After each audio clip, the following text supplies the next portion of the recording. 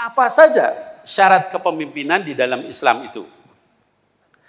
Yang pertama, hadirin wal hadirat, seorang pemimpin di dalam Islam harus jujur dan benar, ya. Jadi kalau misalnya pemimpin tidak jujur, tidak benar, itu tidak boleh dijadikan pemimpin, gitu ya. Nah, jujur dan benar ini seperti apa? Nabi kita Nabi Muhammad sallallahu alaihi wa alihi wasallam menyebutkan ya kata beliau ya Allah ya di doa beliau ya siapa saja yang diberikan kekuasaan untuk mengurusi umat saya tapi kemudian dia menyengsarakan mereka yaitu umat Islam maka persulitlah dia ngeri kita ya makanya orang yang paham agama jadi pemimpin itu amanah bukan kemuliaan. Ya. Bukan suatu yang harus dibanggakan. Oh, saya jadi RT, jadi RW, jadi lurah, ya, jadi macam-macam, ya, caleg dan sebagainya, bupati, gubernur dan seterusnya. Itu bukan untuk dibanggakan. Hati-hati sama doa ini. Ya. Kalau kita nggak beres, ya, bahkan menyengsarakan umat, didoain sama Rasul Sallallahu Alaihi Wasallam ngeri, ya. Nah, doanya adalah kalau dia menyengsarakan maka sengsarakan dia. Dan siapa saja yang diberikan kekuasaan untuk mengurusi umatku lalu mempermudah mereka, membantu mereka, maka mudahkanlah mereka. Ya. Jadi kalau misalnya kita jadi pemimpin yang adil, itu dapat doa dari Rasul Shallallahu Alaihi Wasallam. Ya. Tapi kalau tidak dapat doa juga, tapi doa yang yang jelek. Naudzubillah mudah-mudahan kita dijaga Allah dari yang demikian. Nah kemudian pemimpin yang tidak memperhatikan kebutuhan, kedukaan dan kemiskinan umat maka Allah tidak akan memperhatikan kebutuhan, kedukaan dan kemiskinannya pada hari kiamat. Wah lebih ngeri lagi ya. Jadi pada saat di hari kiamat itu hadirin wal hadirat kita itu sangat butuh sama Allah ya.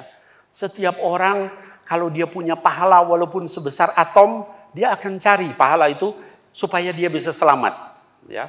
Selamat dari apa? Selamat dari panasnya hari mahsyar. Ya. Padang mahsyar itu luar biasa panasnya. Ya. Dalam hadis, ibu-ibu sekalian, bapak-bapak sekalian dikatakan orang itu di hari mahsyar itu dihitung berdasarkan keringatnya. Ada yang keringatnya sampai mata kaki, ada yang sampai lututnya, ada yang sampai ke perutnya, ada yang sampai ke hidungnya. Sambil Nabi Muhammad SAW menunjuk hidungnya.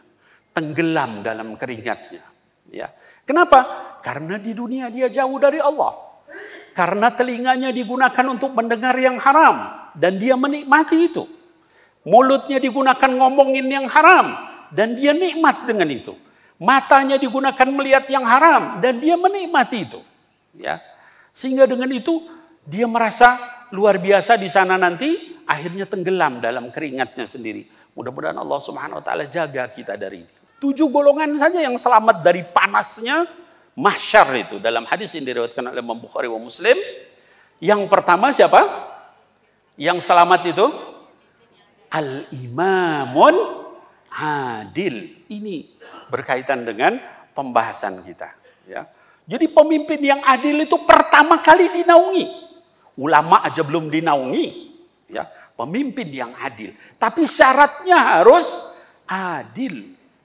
Kalau dia nggak adil, dia nggak bisa mendapatkan naungan pada hari di mana kita nggak punya naungan kecuali naungan Allah Subhanahu wa taala.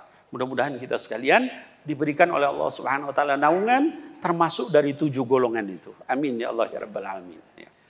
Nah, kita berikan contoh misalnya salah satunya adalah uh, kita lihat misalnya Umar bin Abdul Aziz ya, seorang pemimpin yang benar-benar amanah Saking amanahnya dia tidak mau menggunakan fasilitas rakyat untuk kepentingan pribadi. Ya. Karena begitu amanahnya beliau, begitu adilnya, dalam dua tahun setengah umat Islam tidak ada yang menerima zakat. Kalau di kita sekarang banyak yang miskin nggak bu? Banget. Kenapa seperti itu? Karena bisa jadi para pemimpinnya tidak amanah. Ya. Umar bin Abdul Aziz nggak perlu waktu lama puluhan tahun, dua setengah tahun nggak ada yang nerima zakat. Kenapa? Karena dia sendiri adalah mustahik zakat. Kalau pemimpin tertingginya itu adalah orang yang begitu jujur, adil, kira-kira para bawahannya berani nggak tidak jujur? Nggak berani. Ya. Nah maka ketika kita milih RT, pilih RW, pilih yang jujur, yang amanah, yang adil. Supaya apa? Supaya barokah Allah itu turun di daerah kita. Ya. Kalau tidak seperti itu, maka yang ada apa? Yang ada adalah balak turun di situ. Ya. Dan kita melihat makin akhir zaman ini makin banyak turun azab Allah Subhanahu wa taala.